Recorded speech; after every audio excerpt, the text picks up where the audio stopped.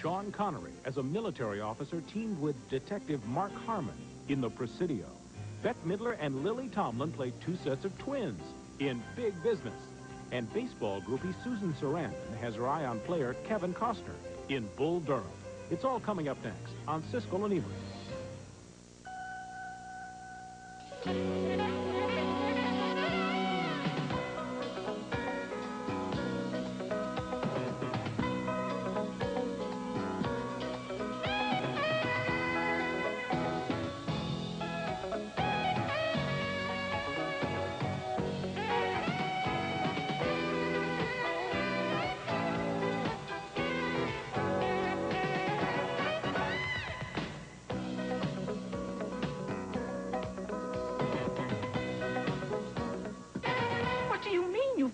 To someone else? I, I don't know if we did. Oh, the key's not here. I want to speak to the manager. Rose, look at this. Red wine and cheeses of the world.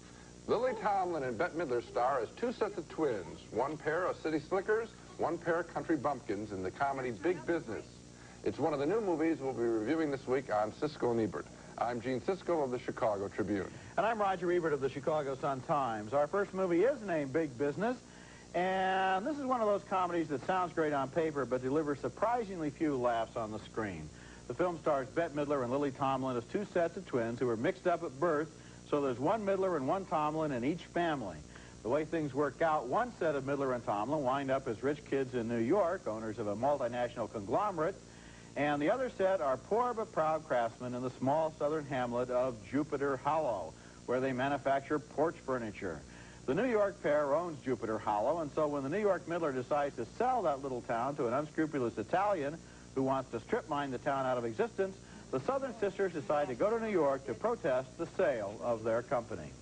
Leave town? Go to New York City? It's a dangerous, dirty, low-down place, I lady. know. I know. Oh, my God. What'll I wear? I gotta get my hair cut. Oh, this is just the sense of purpose I need. I gotta get me some of those press-on nails. Do those things stay up? I wouldn't want them flopping off in any of those fancy nightclubs. Listen, nightclubs, this is business, and you get a grip on yourself. We're going to New York City. In New York, all four sisters wind up checking into the Plaza Hotel at about the same time. And since both sets of sisters look exactly identical, that leads to all sorts of confusion at the reservations desk. I want a room, and I want it now. Uh, yes, ma'am. I can give you the suite right next door. It's identical. I'll have the bellboy take up your luggage. The whole middle hour of the movie consists of variations on the same theme, which is how the various twins just barely miss running into each other. Moron. This leads me to a basic rule of comedy, Gene, which is that it's never funny when two people just miss running into each other. It's always funny when they run into each other and don't expect to, but the other is never funny, and that causes big, big problems for big business, which might have been a funnier movie also if they'd spent more time on developing the opposing personalities of these various twins and less time on that endless series of sight gags in which one twin disappears around the corner just when the other pops up. The movie does not represent the best work of either Midler or Tomlin, who both seem curiously muted here in contrast to the sharp-edged characters they usually play. The plot grinds lifelessly through a series of predictable encounters and non-encounters until the big moment when the two sets of twins finally meet. And you know what happens then? After a brief scene where the four women realize who they all must be, the movie cuts to the next scene. We never get the scene we were waiting for all along where they actually say, hey, we must have been mixed up at birth. You're really my sister. I wanted to see both Tomlins get their revenge on both Midlers, and that priceless scene is missing. Well, I had some problems with the film, too. I think I liked it a little bit more than you because I would say that one character or one actress is working close to the top of her form, and that's Bette Midler. In her characterization as the tough-talking, brassy owner of the company, the smart sister, that's the brassy Bette Midler that we enjoy. And when she's the country Bette Midler, in her opening sequence, she is also extremely funny because she's yodeling. And to hear Bette Midler on stage yodeling and prancing around the stage is very funny. I agree with you that the movie, Tomlin uh, is pretty much of a washout for me in both characters, except for one thing. She has a funny bit involving a snake hand that's uh, putting a curse on somebody. I guess my expectations may be very high when I get these two people and this premise, and I saw a lot of, I know what you're talking about, a lot of physical stuff rather than encounter Yeah, stuff. yeah. When they do meet, It's very funny, but not played along. Not played, not played out, and not played the way it should have been. I agree with you that of the four sisters, so to speak, the brassy New York Midler is the best of the four, but still not with all the stops let out, and so that when she does have those funny zinger lines, they're good, but there aren't enough of them. I think she's funnier than that. I think the movie's a little funnier than that. Our next movie is called A Taxing Woman. And here is a stunning surprise, a wonderful new film about, of all things, a Japanese woman who is an income tax agent. Dry subject, you would think? Not a dry movie. Apparently, the practice of evading taxes knows no borders. The problem is rampant in Japan, and this comic love story presents the problem in a consistently amusing way. Now, here is the agent on the left there with her assistant as they spy on a restaurant owner who is evading taxes by not ringing up all the sales. That's just one of the tricks.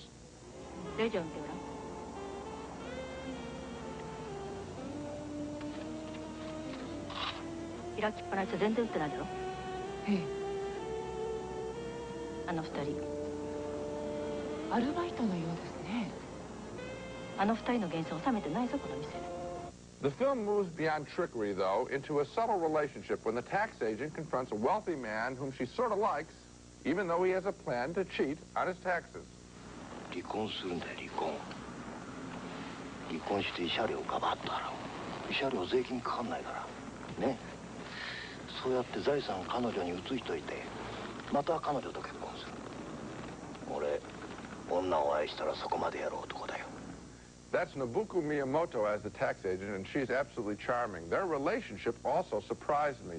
It isn't always confrontational, and that's the way I thought it was going to go. The whole movie surprised me because I didn't think you could make an interesting movie about a tax agent's work that wasn't some kind of thriller. And this isn't a thriller, it's more subtle than that. A Taxing Woman was made by director Juzo Itami, the same director who made last year's wonderful film, Tampopo, about a bunch of tough guys helping a woman, again played by his wife, the same character that we just saw, the same actress we just saw, about a woman learning how to make better noodles. Mm -hmm. Now, Itami is a very special talent, let's face it. He picks strange subjects and makes delightful films from them. I really liked A Taxing Woman. I didn't, and I'm a fan of Itami's. I liked his first film very much, too, The Funeral, and in all of these films he stars his wife. And Tampopo, of course, is the masterpiece. I saw it again not long ago, and this where it's a, it's a kind of a cross between the woman who wants to make noodles and then a spaghetti western, right. if you will, with the right. guy, the truck driver coming in. Why, why don't you like this film? The zen of perfect noodles. This movie doesn't have the same organization. It's very hard to follow. Uh, I lost my place several times. The characters are confusing. The jokes don't pay off. The situation. Well, I think if you lost your place, it's completely tedious. I think if you lost your if you lost your uh, place, that may be your problem. I found my place all over the place. I mean, I, I think it's an absolutely wonderful film. The woman is uh, clever. She's torn between her code and the man, and it opened my eyes to a whole world that it opened my eyes to a whole world that I didn't even know about. It just didn't have the discipline of the earlier film. It's too long. It's not well organized. It's rambling. It doesn't really make it. We didn't see the same. Is. We didn't oh, see the I same movie. We did. I think we did. No, it was a big disappointment, I especially after seeing Tampopo, which is nearly a perfect movie. It's a wonderful film. This is good too. Okay, when we come back, Sean Connery is a military cop in The Presidio. And then later we'll also review Bull Durham, starring Kevin Costner as a minor league ball player with a major league mistress.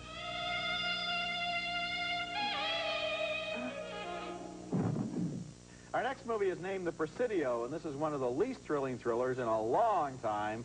A dumb, lifeless adventure in which two law enforcement officers solve between them the easiest investigation in recent movie history, while one of them has an affair with the other one's daughter, which doesn't have anything to do with the investigation.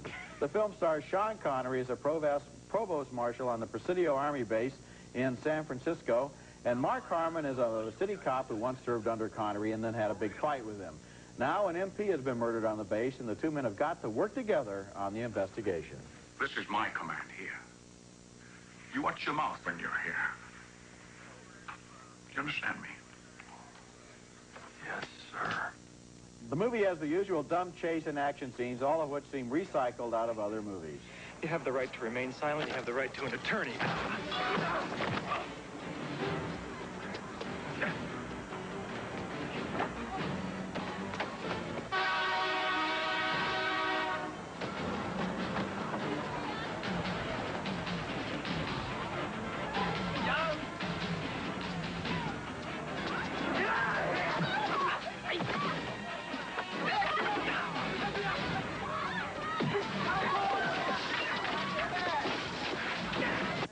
Ryan stars in the movie as Connery's daughter and, of course, falls in love with Harmon at first sight in some of the most awkward and unbelievable dialogue in many and many a moon. Is it hard? What hard? Being a policeman. Oh, yeah. Now, let's face it, movies about two cops who have different lifestyles but have to work together are not exactly a dazzlingly new idea. I've seen about three of those this year, including a good one named mm-hmm. Shakedown Very that we good. saw not long ago. Peter Hyams, the man who directed The Presidio, even he made a good one himself, Running Scared with Billy Crystal and Gregory Hines. But The Presidio has absolutely nothing new or original to contribute to the subject, and there are stretches here where the movie looks like a cinematic trash recycling center. Mark Harmon is lifeless and not very interesting, and Sean Connery's good moments come from his own personality, not from anything contributed by the director or the screenplay. This is movie making by the numbers. I think by the numbers is dead on. Low I numbers. felt very low numbers. I felt as though I were watching a movie made for people who had never seen a movie and might not be able to uh, figure out how one scene connected. This And a is the training most, film. This is the most simple-minded piece of direction. It's a good-looking film, but yet it's like an idiot, done for idiots. Look here. Now here I'm going to show you this, and and I'm going to have they're going to have this conflict. And then it'll be resolved in the next scene. We won't keep you waiting too long. We'll resolve it real early because you don't have Yeah, a long attention span. This movie insults the viewer. Well, I agree with that, and I, especially in terms of their so-called investigation. Oh, please. Now, I don't want to give away too many secrets. Give it away. But some people are smuggling some stuff, right? You got it. And uh, whatever it is, and however they're doing it. So the cop gets in an unmarked car with uh, the army officer, Connery, who's wearing full uniform. And Both of these people are totally known to the guy that they're trailing. And they park the car across the street from Yes. him and sit there looking at him while he, in plain view, goes around showing them everything they He need does- to find out so that they can figure out the and answer. how long are they in the car? All day. Think about it. It goes on. They follow the Well, man it takes that guy day. a long time to show them all of his Yes. secrets, which he happily does. All I day mean, long. it's pretty dim-witted. Coming up next, Kevin Costner and Susan Sarandon star in Bull Durham, a film about the joys and pains of minor league baseball. It's my job to give them life wisdom and help them get on to the major leagues. Our next film is called Bull Durham, a small jewel, a very funny, beautifully written film about baseball, minor league baseball, and the fringe characters that support it in a southern city. It's Durham, North Carolina, where veteran catcher Kevin Costner and a rookie pitcher with a great but wild arm end up caught in the middle of a fight over how to play the game and over the affections of a baseball groupie extraordinaire played by Susan Sarandon. Here all three confront each other in a bar as the rookie thinks Sarandon is his woman.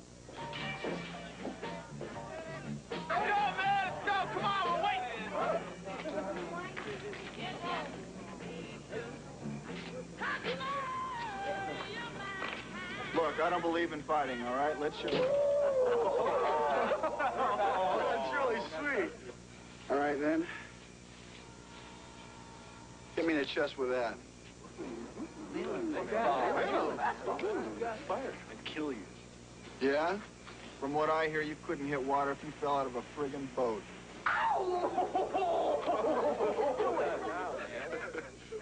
Throw it. Throw it. Come on. Right in the chest. No way. Come on, mate. You're not going to hit me because you're starting to think about it already. Huh? Starting to think how embarrassing it would be to miss in front of all these people, how somebody might laugh.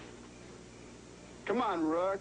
Show us that million dollar arm, because I got a, oh, I got a good idea about that five cent head of yours. Nail it. Drop That's a very funny bit. Sarandon is really torn between the two men and her desire to help the team. I hook up with one guy a season. Usually takes me a couple weeks to pick the guy. Kind of my own spring training. And, well, you two are the most promising prospects of the season so far. Aside from the relationship, there is plenty of hilarious baseball action in this movie as the film takes us into the minds and private conversations of the players. This is a real treat. For example, a conference on the mound where the catcher tries to calm down the wild rookie pitcher. What the hell's going on out here? Well, Nuke's scared because his eyelids are jammed and his old man's here. We need a live, was it a live rooster? We need a live rooster to take the curse off Jose's glove, and nobody seems to know what to get Millie or Jimmy for their wedding present. Is that about right? That's right. We're dealing with a lot of stuff. Well, uh, candlesticks always make a nice gift, and uh, Maybe you can find out where she's registered, maybe a place setting or maybe a silverware pattern. Okay, let's get two. Now, that's wonderful, and there are a lot of scenes like that in the movies. Interior monologues as the guy's getting ready to bat. All of us who love baseball always have wanted to be on the mound and really hear what they say, listen to the interchange between catcher and batter. You get to do this in this wonderful movie. That's Tim Robbins as the rookie pitcher. He turns in a wonderful performance. that makes him come across as some kind of wigged-out David Letterman look-alike. Susan Sarandon is marvelous in a great role. I hope she is remembered at Oscar time. She is required to play every position, if you will, and we're not talking just baseball. She is sexy and bright and funny. It is a full, wonderful character, and she is equal to it. And let's give Kevin Costner credit for taking the somewhat thankless, less flashy role as a durable, beaten-down catcher. Now, he's a big star. He could have said, nah, this part's too small for me, but he makes Bull Durham work. Every part of this movie works. It was written and directed by a former minor league player, Ron Shelton, and his experience shows, because someone who knows an awful lot about baseball and loves it, created now, I movie. didn't know that Ron Shelton had anything to do with minor league baseball. But what I felt as I watched this movie was, you know, because so many baseball movies have really been so corny, Yes. especially if you love the game of baseball, Yes. this movie feels authentic, Oh, it yeah. smells authentic, it plays authentically, and it is genuinely a funny, funny movie in which all of these characters, not only the three you've mentioned, but also the other guys in the bullpen Manager. and so forth, and the people they meet on the road, Right. are so well drawn. This is really one of the funniest comedies of the year. There's no question about it. I mean, to be able to write this kind of characters, I guess you have to lived it. And, uh, you know, every, they say everybody has one story to tell and write what you know about. This um, guy Shelton sure did it. He sure did. When we come back, traveling north, the story of an old curmudgeon, his retirement, gives his second wife a full-time job. Patriotism is the final refuge of scoundrels. Our next movie is a genuine pleasure and a genuine discovery, a warm-hearted human comedy about a crusty Australian engineer and labor union activist who retires and settles in a little cabin by the side of a bay where he hopes to do some fishing. The man is played by Leo McKern, the great character actor who does Rumpole of the Bailey on PBS, and this is probably the best performance of his career, an Australian Academy Award winner in which he manages to be lovable without budging one inch from his irascible, stubborn self. His lover truly loves him, but at one point she's driven away by his bad temper. I've realized that while I've loved mankind in general, I've been very thoughtless to some of those I've been involved with in particular. You there? Yes, I'm here. So I've, uh, I've rung to uh, apologize. They marry and she returns to his dream cabin, but one day he gets some bad news. He has a heart condition and he ought to take it easy. Well, retirement shouldn't mean taking it easy, but not for this guy. Well, how will this affect my, my life patterns? Well, you just take things easy. Relax. Don't lose your temper. Never let yourself get too excited. Well, what about the, um, the more intimate areas? Are you still, uh... I may be old. I'm not defunct. Some subtle tension builds up between McKern and two of the men in town, that doctor and also McKern's next-door neighbor, who both like him, but they're bachelors and they're only human, and they can't help wondering what's going to happen to his wife if anything happens to him, because both of them would like to marry her. The beautiful thing about Traveling North is that the movie has the ability to observe life as it is actually lived. Leo McKern and Julia Blake, as the wife, create characters here who are real and recognizable. This is kind of a no-nonsense, unsentimental version of On Golden Pond, in which the people are real, the problems are real, and even the laughs come out of moments of truth. Nor and Traveling North has opened sporadically around the country. It's played in about 40 cities so far, and it's a real treasure, a sleeper that is worth going to the effort of looking for. I don't think it is worth the effort. Uh, you mentioned On Golden Pond, and as much as I didn't think On Golden Pond was a perfect uh, film by far, I mean, I thought it was a little uh, overly sentimental, this film to me is just as sentimental, if not more so. Uh, and I was less interested in it. I thought this was a stock character, the crusty old man. Boy, you talk about two cops being a stock character. Here is a stock character as well. Crusty old man, has a medical problem, won't behave. He's going to fight it out. I mean, I, I was bored with him. How many movies like that have you seen before? I have seen many Can't movies name of them. one, I'll bet. No, I except for can't. On Golden Pond. No, no. I have seen plenty of films about tough old birds who have a problem and won't listen and won't behave. And it's Oh, always there are a lot men. plenty of people like that, too, Yeah. but this is a very particular guy. No, no, I, didn't, I thought he was ordinary, ordinary, and I didn't think the performance, Well, as much course, as I liked Gene, of course, the fact that he's ordinary is part of the magic of this movie because he's not made into some kind of a character. He's made into a guy who worked hard all of his life and wants to settle down and loves this woman and loves his chair, likes to go fishing, likes Right. to listen to the opera, and Okay. knows he's going to die. Yeah. And certainly the last scene in this movie where he's found dead by his neighbors and by his wife is heartbreaking. Well, Roger, you just, I mean, uh, to me to say now that I didn't, I wasn't moved by the fact that the guy is dead, which you just gave away, uh, would make me seem cruel, but I'm going to be cruel on the film. I didn't think the character was that interesting, so his death did not mean that much to me. Well, it did to me.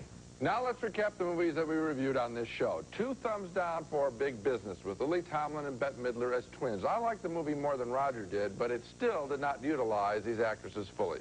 A big split vote on the Japanese romantic comedy A Taxing Woman. I think this is one of the most inventive and charming films I've seen in a long time. Roger thought it was a tedious mess. Two thumbs down for The Presidio, the murder mystery that is so simple-minded, it's insulting to viewers. Two big thumbs up, however, for Bull Durham, a wonderfully written and acted movie about minor league baseball. It's a gem. And finally, a big disagreement on Traveling North, about a crusty old man's struggle to live. I found him and the other characters to be boring. Roger loved it. So Bull Durham is the winner of this group, and I think A Taxing Woman is terrific, too. Okay, and of course I also liked Traveling North very much. That's it for this week. Next week we'll review Red Heat with Arnold Schwarzenegger as a Russian cop and James Belushi as a Chicago cop, another pair of cops. And also A World Apart, the South African drama starring Barbara Hershey that was a big winner at this year's Cannes Film Festival. That's next week, and until then, the balcony is closed.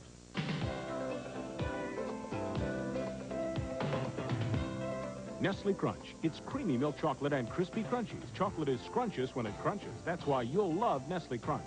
Bring your hair fantasies to life with Matrix Hair Essentials. Available in fine salons only. Hair, the trend is Matrix. Triamcinolone, serious allergy medicine that works even on your worst days. No wonder allergy sufferers trust Triamcinolone year after year. Sony videotapes. For taping your favorite movies, trust Sony Dynamicron ES. Whatever your videotape needs, there's only one name to play back. Sony.